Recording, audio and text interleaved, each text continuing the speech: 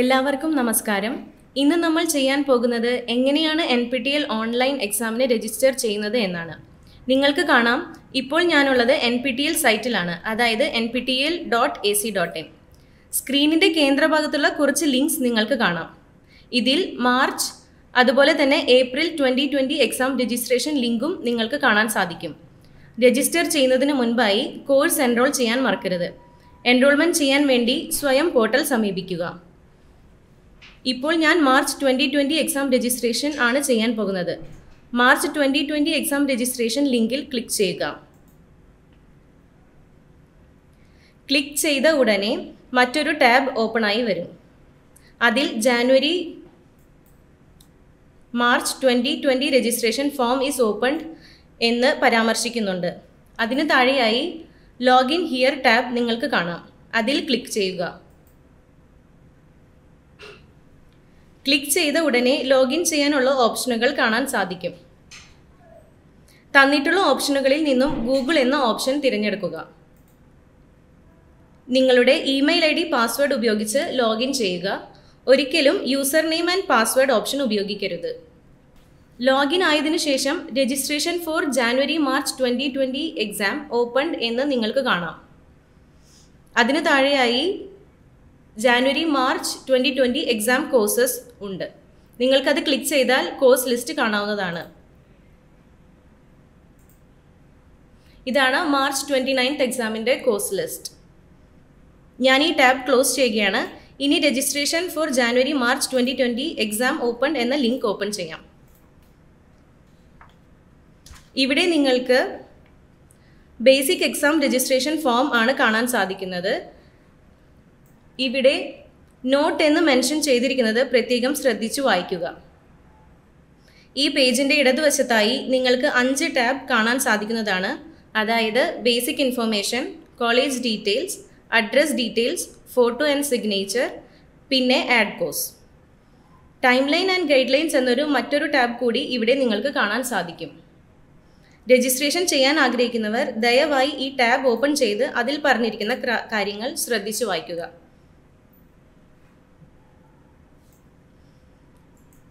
Exam fees അതുപോലെ തന്നെ dead ലൈൻസിനെ കുറിച്ചുള്ള വിവരങ്ങൾ നിങ്ങൾക്ക് ഇവിടെ ലഭ്യമാണ്. ഇനി നമ്മൾക്ക് രജിസ്ട്രേഷൻ ഫോമിലേക്ക് തിരികെ പോകാം. രജിസ്ട്രേഷൻ ചെയ്യുന്നതിന് മുൻപായി നോട്ടിൽ പറഞ്ഞിരിക്കുന്ന വിവരങ്ങൾ വിവരങ്ങൾ പ്രത്യേകം ശ്രദ്ധിക്കുക. കോളേജ് ലോക്കൽ ചാപ്റ്റർ വഴി രജിസ്റ്റർ ചെയ്തിട്ടുള്ളവർ രജിസ്ട്രേഷൻ പ്രോസസ്സിന് ശേഷം മറ്റു വിവരങ്ങൾക്കായി സ്പോക്കായി ബന്ധപ്പെടുക. അതുപോലെ തന്നെ ആപ്ലിക്കേഷൻ ഫോമിൽ ഫിൽ ചെയ്യുന്നതിനായി ഗൂഗിൾ ക്രോം ഉപയോഗിക്കുക. ഒരു ഫീൽഡിൽ നിന്നും അടുത്ത ഫീൽഡിലേക്ക് പോകുന്നതിനായി ടാബ് കീ യൂസ് ചെയ്യാതെ മൗസ് ഉപയോഗിക്കുക. സ്റ്റാർ അടയാളമുള്ള ഫീൽഡ് നിർബന്ധമായും പൂരിപ്പിക്കുക. പേര് അതുപോലെ തന്നെ ഡേറ്റ് ഓഫ് ബർത്ത് ഒരു തവണ സേവ് ചെയ്ത് കഴിഞ്ഞാൽ തിരുത്താൻ സാധിക്കുന്നതല്ല. തിരുത്താൻ ആഗ്രഹിക്കുന്നവർ പ്രത്യേക അഭ്യർത്ഥന support at the rate of N P T E L dot I E T M dot A C dot in എന്ന മെയിൽ ഐ ഡിയിലേക്ക് അയക്കേണ്ടതാണ്.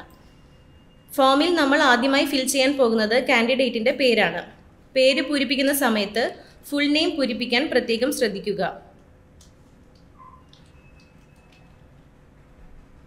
ഇതേ പേരിലായിരിക്കും നിങ്ങളുടെ സർട്ടിഫിക്കറ്റും പ്രതിഫലിക്കുന്നത്. ഇനി നമ്മൾക്ക് ഡേറ്റ് ഓഫ് ബർത്ത് ഫിൽ ചെയ്യാം.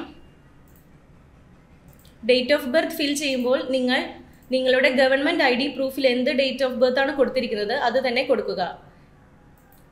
കാരണം എക്സാം സെന്ററിൽ നിങ്ങളുടെ I D proof and I D proof and hall ticket cross verify ചെയ്യുന്നതാണ്.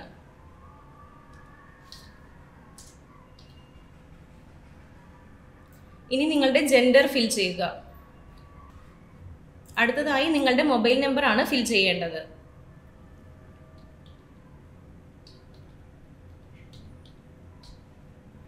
ഈ മൊബൈൽ നമ്പറാണ് നിങ്ങൾക്ക് എസ് എം എസ് ഇന്റിമേഷൻ അയക്കാൻ ഉപയോഗിക്കുന്നത്. അപ്പോൾ കെയർഫുള്ളായി നിങ്ങൾ മൊബൈൽ നമ്പർ കൊടുക്കാനായിട്ട് ശ്രദ്ധിക്കണം. എന്തെങ്കിലും ഓൾട്ടർനേറ്റ് കോൺടാക്ട് നമ്പർ ഉണ്ടെങ്കിൽ അതും കൊടുക്കാവുന്നതാണ്. അടുത്തതായി അഡീഷണൽ സ്റ്റുഡന്റ് ഇൻഫർമേഷൻ ആണ്. ചോദിച്ചിരിക്കുന്ന ചോദ്യം ആർ യു ഫിസിക്കലി ചാലഞ്ച്ഡ് ആണ്. നിങ്ങൾക്ക് എന്തെങ്കിലും ഡിസബിലിറ്റി ഉണ്ടെങ്കിൽ അത് നിങ്ങൾക്ക് മെൻഷൻ ചെയ്യാവുന്നതാണ്. യെസ് ആണെന്നുണ്ടെങ്കിൽ എത്ര പെർസെന്റേജ് ഡിസബിലിറ്റി ആണ് നിങ്ങൾക്കുള്ളത് എന്നുള്ളത് ഇവിടെ മെൻഷൻ ചെയ്യേണ്ടതാണ്. ഏത് തരത്തിലുള്ള ഫിസിക്കലി ചാലഞ്ച്ഡ് ആണെങ്കിൽ അത് ഫിൽ ചെയ്യാവുന്നതാണ്.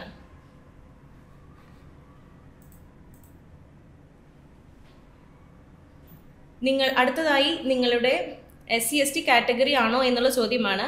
യെസ് ആണെന്നുണ്ടെങ്കിൽ യെസ് കൊടുക്കാവുന്നതാണ്. നോ ആണെന്നുണ്ടെങ്കിൽ നോ കൊടുക്കാവുന്നതാണ്.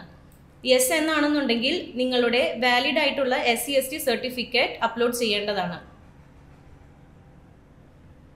യെസ് ക്ലിക്ക് ചെയ്ത് കഴിഞ്ഞാൽ ആ ഫയൽ അപ്ലോഡ് ചെയ്ത് കഴിഞ്ഞാൽ നിങ്ങൾക്ക് നെക്സ്റ്റ് നെക്സ്റ്റ് പേജിലോട്ട് പോകാവുന്നതാണ്.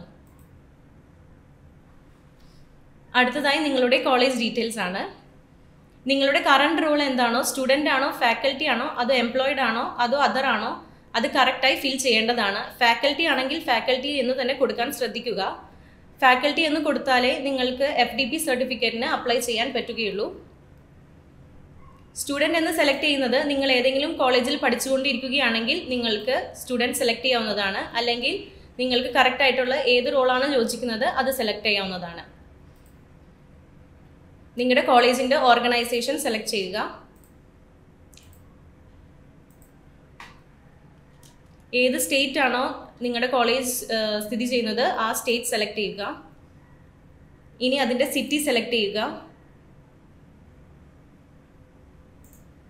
ഇവിടെ കാണിച്ചിരിക്കുന്നത് ലോക്കൽ ചാപ്റ്റർ ആയിട്ടുള്ള കോളേജസിന്റെ ലിസ്റ്റ് ഓഫ് സിറ്റീസ് ആണ് കാണിച്ചിരിക്കുന്നത്.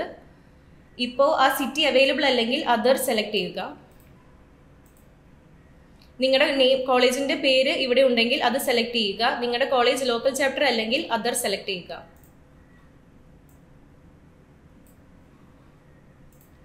നിങ്ങളുടെ ഡിഗ്രി ഏതാണ്? ആ ഡിഗ്രി കറക്റ്റായിട്ട് സെലക്ട് ചെയ്യുക.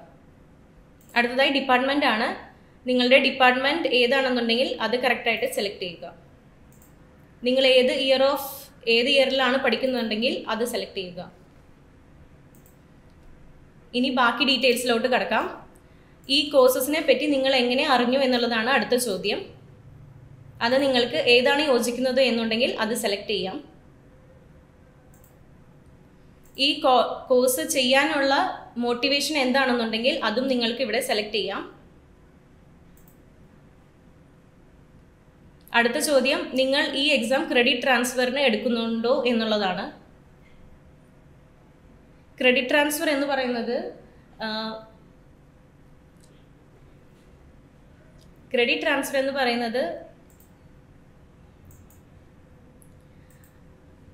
അടുത്തതായുള്ള ചോദ്യം നിങ്ങൾ ഈ എക്സാം ക്രെഡിറ്റ് ട്രാൻസ്ഫറിന് വേണ്ടി എടുക്കുന്നതോ എടുക്കുന്ന അടുത്തതായി നിങ്ങൾ ഈ എക്സാം ക്രെഡിറ്റ് ട്രാൻസ്ഫറിന് വേണ്ടിയാണോ എടുക്കുന്നത് എന്നുള്ള ചോദ്യമാണ്. നിങ്ങൾക്ക് കറക്റ്റ് ആയിട്ടുള്ള ഓപ്ഷൻ അതിൽ നിന്ന് സെലക്ട് ചെയ്യാം. അടുത്ത ക്വസ്റ്റ്യൻ ഈ സ്കോഴ്സ് ഞങ്ങൾക്ക് കോളേജുമായി ഷെയർ ചെയ്യാൻ പറ്റുമോ എന്നുള്ളതാണ്. നിങ്ങൾക്ക് താല്പര്യമില്ലെങ്കിൽ നോ എന്ന് സെലക്ട് ചെയ്യാം. താല്പര്യമുണ്ടെങ്കിൽ യെസ് എന്ന് സെലക്ട് ചെയ്യാവുന്നതാണ്. അടുത്തതായി ഒരു ചെക്ക് ബോക്സ് നിങ്ങൾ ക്ലിക്ക് ചെയ്യണം. നിങ്ങൾ വിഷ് ചെയ്യാൻ നിങ്ങൾ ഈ സ്കോഴ്സ് ഷെയർ ചെയ്യാൻ ആഗ്രഹിക്കുന്നില്ല എന്നുണ്ടെങ്കിൽ നിങ്ങൾ ഈ ചെക്ക് ബോക്സ് ക്ലിക്ക് ചെയ്യേണ്ടതാണ്. അതൊരു കൺഫർമേഷന് വേണ്ടിയിട്ടുള്ളതാണ്. അടുത്ത ക്വസ്റ്റ്യൻ നിങ്ങൾക്ക് ഈ ഇൻഫർമേഷൻ പൊട്ടൻഷ്യൽ എംപ്ലോയീസ് ആയിട്ട് ഷെയർ ചെയ്യാമോ എന്നുള്ളതാണ്. താല്പര്യമുണ്ടെങ്കിൽ നിങ്ങൾക്ക് യെസ് എന്ന് സെലക്ട് ചെയ്യാം. ഇല്ലെങ്കിൽ നോ എന്ന് സെലക്ട് ചെയ്യാവുന്നതാണ്. അടുത്തതായി നമുക്ക് നെക്സ്റ്റ് പേജിലോട്ട് പോകാം. അടുത്തതായി അഡ്രസ് ഡീറ്റെയിൽസ് ആണ്. എല്ലാ കമ്മ്യൂണിക്കേഷൻസും ഈ പോസ്റ്റൽ അഡ്രസ്സിലോട്ടാണ് നമ്മൾ ചെയ്യുന്നത്. അതുകൊണ്ട് നിങ്ങൾ കെയർഫുൾ ആയിട്ട് നിങ്ങളുടെ അഡ്രസ്സ് ഫിൽ ചെയ്യാനായിട്ട് ശ്രദ്ധിക്കുക.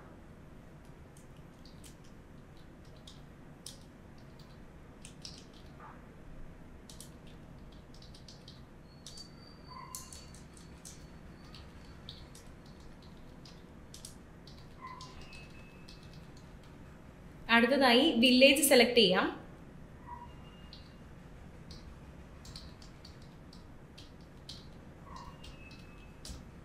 അടുത്തതായി കൺട്രി സെലക്ട് ചെയ്യാം. അടുത്തതായി സ്റ്റേറ്റ്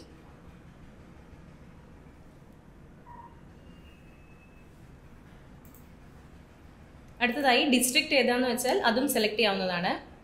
നിങ്ങളുടെ പിൻകോഡ് അടിക്കുക.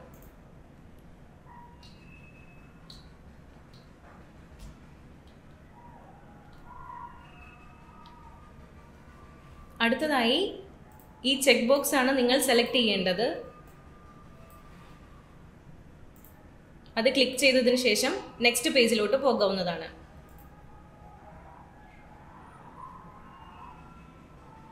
അടുത്തതായി ഫോട്ടോ ആൻഡ് സിഗ്നേച്ചർ അപ്ലോഡ് ആണ്. ഫോട്ടോയും സിഗ്നേച്ചറും അപ്ലോഡ് ചെയ്യേണ്ട സൈസ് നമ്മൾ ഇവിടെ മെൻഷൻ ചെയ്തിട്ടുണ്ട്. അത് നിങ്ങൾ കറക്റ്റായി നോക്കി റീസൈസ് ചെയ്ത് അതിനനുസരിച്ച് അപ്ലോഡ് ചെയ്യേണ്ടതാണ്. നമ്മൾക്ക് ഫോട്ടോ അപ്ലോഡ് ചെയ്യാവുന്നതാണ്. അതിനായി ചൂസ് ഫയൽ ക്ലിക്ക് ചെയ്യുക. നിങ്ങളുടെ കമ്പ്യൂട്ടറിൽ തന്നെ നിങ്ങളുടെ ഫോട്ടോ ഉണ്ട്. നിങ്ങളുടെ കമ്പ്യൂട്ടറിൽ തന്നെ ഫോട്ടോ കാണുമെന്ന് കരുതുന്നു. അടുത്തതായി സിഗ്നേച്ചർ അപ്ലോഡ് ചെയ്യാം. സിഗ്നേച്ചർ അപ്ലോഡ് ചെയ്തതിന് ശേഷം സേവ് ആൻഡ് നെക്സ്റ്റ് കൊടുക്കുക. ഇപ്പോൾ നിങ്ങൾക്ക് ഇവിടെ കാണാം സിഗ്നേച്ചർ അപ്ലോഡ് ചെയ്തത് റോങ് സൈസ് ആണ്. അതുകൊണ്ട് തന്നെ അത് ആക്സെപ്റ്റ് ചെയ്തിട്ടില്ല. സോ നിങ്ങൾ അത് വീണ്ടും റീ അപ്ലോഡ് ചെയ്യേണ്ടതാണ് കറക്റ്റ് സൈസിൽ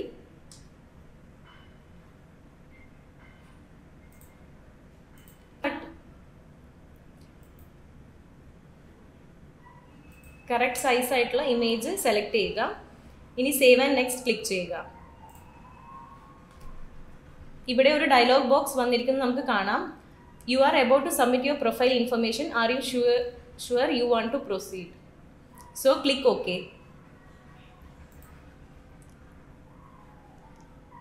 ഇപ്പോൾ നമ്മുടെ ബേസിക് ഇൻഫർമേഷൻ സേവ് ചെയ്ത് കഴിഞ്ഞു. ഇനി നമ്മൾക്ക് എക്സാം സ്ലോട്ട്സ് ബുക്ക് ചെയ്യുകയാണ് വേണ്ടത്. അതിനായി ഓക്കെ ക്ലിക്ക് ചെയ്യുക.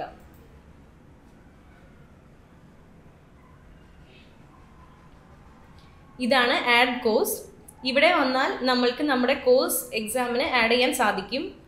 കോഴ്സ് ഡീറ്റെയിൽസ് പോവുക.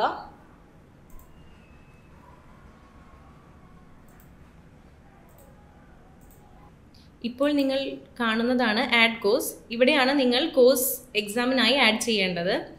കോഴ്സ് ഡീറ്റെയിൽസിൽ ക്ലിക്ക് ചെയ്യുക. നിങ്ങൾ മാർച്ച് ട്വന്റി നയൻത്തിന് എക്സാം ഏതൊക്കെ കോഴ്സിനാണ് നിങ്ങൾ എൻറോൾ ചെയ്തിട്ടുള്ളത് ആ കോഴ്സ് ലിസ്റ്റ് ഇവിടെ നിങ്ങൾക്ക് ഡ്രോപ്പ് ഡൗണിൽ കാണാവുന്നതാണ്. ഇപ്പോൾ ഇവിടെ രണ്ട് കോഴ്സ് ഉണ്ട്. ആദ്യത്തെ കോഴ്സ് സെലക്ട് ചെയ്യുക. നിങ്ങൾക്ക് ആ കോഴ്സിന് എക്സാം എഴുതണമെന്നുണ്ടെങ്കിൽ ആ കോഴ്സ് സെലക്ട് ചെയ്യുക. അടുത്തതായി ഡേറ്റ് ഓഫ് എക്സാം സെലക്ട് ചെയ്യുക. ഇപ്പോൾ നിങ്ങൾ കാണാം ഏത് എക്സാം സെഷനാണ് നിങ്ങൾക്ക് സെലക്ട് ചെയ്യേണ്ടത് എന്ന് മോർണിംഗ് സെഷൻ വേണമെങ്കിൽ മോർണിംഗ് സെഷൻ ഈവനിങ് സെഷൻ വേണമെങ്കിൽ ഈവനിങ് സെഷൻ നിങ്ങൾക്ക് സെലക്ട് ചെയ്യാവുന്നതാണ്. ഇപ്പോൾ ഞാനിവിടെ മോർണിംഗ് സെഷൻ സെലക്ട് ചെയ്യുകയാണ്. അടുത്തതായി ഈ കാണുന്ന ചെക്ക് ബോക്സ് നിങ്ങൾ ക്ലിക്ക് ചെയ്യണം.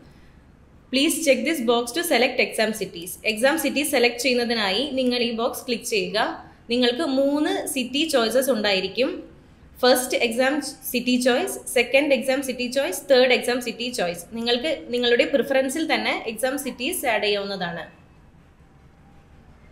ഈ ബോക്സ് ക്ലിക്ക് ചെയ്യുക. ഇപ്പോൾ നിങ്ങൾക്ക് ഫസ്റ്റ് പ്രിഫറൻസ് ഇവിടെ ആഡ് ചെയ്യാം. ഏത് സ്റ്റേറ്റിലാണ് നിങ്ങൾക്ക് എക്സാം എഴുതേണ്ടത് എന്നുണ്ടെങ്കിൽ നിങ്ങൾക്ക് ആ സ്റ്റേറ്റ് സെലക്ട് ചെയ്യാവുന്നതാണ്. നിങ്ങളുടെ സിറ്റി സെലക്ട് ചെയ്യാം. അടുത്തതായി സെക്കൻഡ് ചോയ്സ് ആണ്. സെക്കൻഡ് എക്സാം സിറ്റി സെലക്ട് ചെയ്യാവുന്നതാണ്.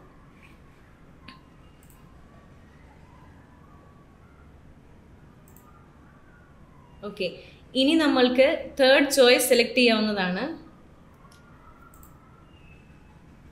ഇപ്പോൾ first two exam cities available അല്ല എന്നുണ്ടെങ്കിൽ തേർഡ് ചോയ്സ് ആയിരിക്കും നിങ്ങളെ എക്സാം എഴുതാനായിട്ട് സെലക്ട് ചെയ്യുന്നത്.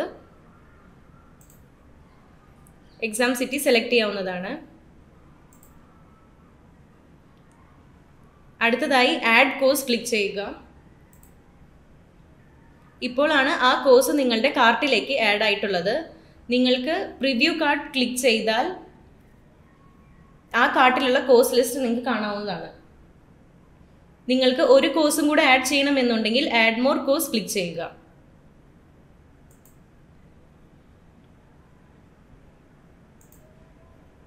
അടുത്തതായി നിങ്ങൾ സെലക്ട് ചെയ്യാത്ത ഏത് കോഴ്സാണ് ഉള്ളത് എങ്കിൽ അത് സെലക്ട് ചെയ്യുക. എക്സാം ഡേറ്റ് സെലക്ട് ചെയ്യുക. എക്സാം സെഷൻ സെലക്ട് ചെയ്യുക. ആദ്യത്തെ കോഴ്സിന് നിങ്ങൾ മോർണിംഗ് സെഷനാണ് കൊടുത്തതെങ്കിൽ അടുത്ത സെഷൻ ഈവനിങ് സെഷൻ സെലക്ട് ചെയ്യേണ്ടതാണ്. എക്സാം സിറ്റീസ് സെയിം തന്നെ ആയിരിക്കും. മാറ്റി കൊടുത്താൽ നിങ്ങൾക്ക് രണ്ട് സ്ഥലത്തേക്കും പോകാൻ പറ്റാത്തത് കൊണ്ട് സെയിം പ്രിഫറൻസ് തന്നെ കൊടുക്കുക. അടുത്തതായി view cart and proceed to pay ചെയ്യുക.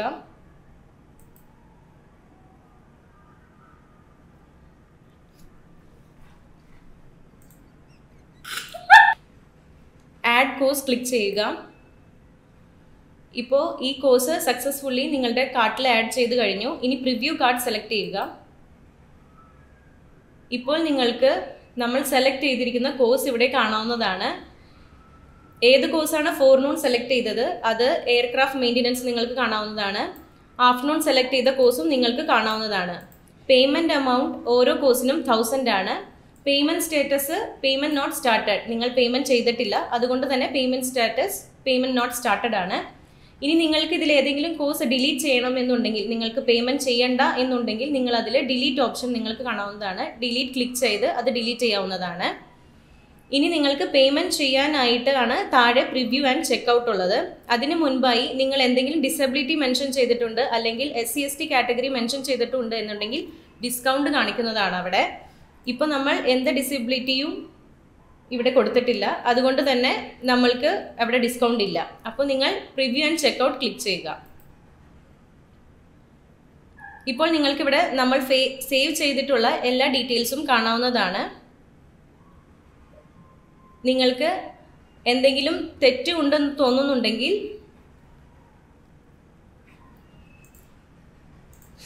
ഇപ്പോൾ നിങ്ങൾ കാണുന്നതാണ് നിങ്ങൾ സേവ് ചെയ്തിരിക്കുന്ന ഇൻഫർമേഷൻ നിങ്ങൾക്ക് എക്സാം ഫീൽ എന്തെങ്കിലും ഡൗട്ട് ഉണ്ടെന്നുണ്ടെങ്കിൽ ഈ നോട്ട് എക്സാം ഫീ കാൽക്കുലേഷൻ എക്സാമ്പിൾസിൽ ക്ലിക്ക് ചെയ്ത് നോക്കാവുന്നതാണ്. ഇനി നമുക്ക് പേയ്മെന്റിലോട്ട് പ്രൊസീഡ് ചെയ്യാം. അതിനായി ക്യാപ്ച ഫിൽ ചെയ്യുക. അതിനുശേഷം താഴെ നിങ്ങൾ ഡിക്ലറേഷൻ ഓരോന്നായി വായിച്ചു നോക്കേണ്ടതാണ്. നിങ്ങൾ eighteen years of age above ആയിരിക്കണം. പാരൻസിന്റെ കൺസെന്റോട് കൂടിയാണ് നിങ്ങൾ ചെയ്തിരിക്കുന്നത് എന്നായിരിക്കണം. ഡിക്ലറേഷൻ എല്ലാം വായിച്ചതിന് ശേഷം താഴെ നിങ്ങൾക്കൊരു ചെക്ക് ബോക്സ് കാണാവുന്നതാണ്. അത് ക്ലിക്ക് ചെയ്യുക. നിങ്ങൾ അത് എഗ്രി ചെയ്യുന്നുണ്ടെങ്കിൽ മാത്രമാണ് അത് ക്ലിക്ക് ചെയ്യേണ്ടത്. അതിനുശേഷം പേ നൗവിലേക്ക് പോകാവുന്നതാണ്. പേ നൗ ക്ലിക്ക് ചെയ്യുമ്പോൾ ഒരു ഡയലോഗ് ബോക്സ് വരുന്നതാണ്. നിങ്ങൾ എൻഷുർ ചെയ്യേണ്ടത് നിങ്ങൾ കൊടുത്തിരിക്കുന്ന എല്ലാ ഡീറ്റെയിൽസും കറക്റ്റാണ് ഇത് കൺഫേം ചെയ്തതിന് ശേഷം നിങ്ങൾക്ക് ഒരു മാറ്റങ്ങളും വരുത്താവുന്നതല്ല. അതുകൊണ്ട് തന്നെ നിങ്ങൾ കൺഫർമേഷൻ ഉണ്ടെങ്കിൽ മാത്രം പ്രൊസീഡ് ചെയ്യുക. ഓക്കെ ക്ലിക്ക് ചെയ്യുക. രണ്ടു വട്ടം ഓക്കെ ക്ലിക്ക് ചെയ്യേണ്ടതാണ്. ഇപ്പോൾ നിങ്ങൾക്ക് കാണാവുന്നതാണ് പേയ്മെന്റ് ഇന്റർഫേസ് അവിടെ ക്രെഡിറ്റ് കാർഡ് ഓപ്ഷൻ ഉണ്ട് ഡെബിറ്റ് കാർഡ് ഓപ്ഷൻ ഉണ്ട് ആൻഡ് ഇന്റർനെറ്റ് ബാങ്കിങ് ഓപ്ഷനും ഉണ്ട്. ഡീറ്റെയിൽസ് ഫിൽ ചെയ്യുക. അതിനുശേഷം മേക്ക് പേയ്മെന്റ് ചെയ്യാവുന്നതാണ്. നിങ്ങൾക്ക് പേയ്മെന്റ് ചെയ്യേണ്ട ക്യാൻസൽ ചെയ്യണം എന്നുണ്ടെങ്കിൽ ക്യാൻസൽ ഓപ്ഷനും അവൈലബിൾ ആണ്. എല്ലാവർക്കും ഇന്നത്തെ ഈ വീഡിയോ ഹെൽപ്പ് ചെയ്ത് കാണുമെന്ന് കരുതുന്നു. നന്ദി.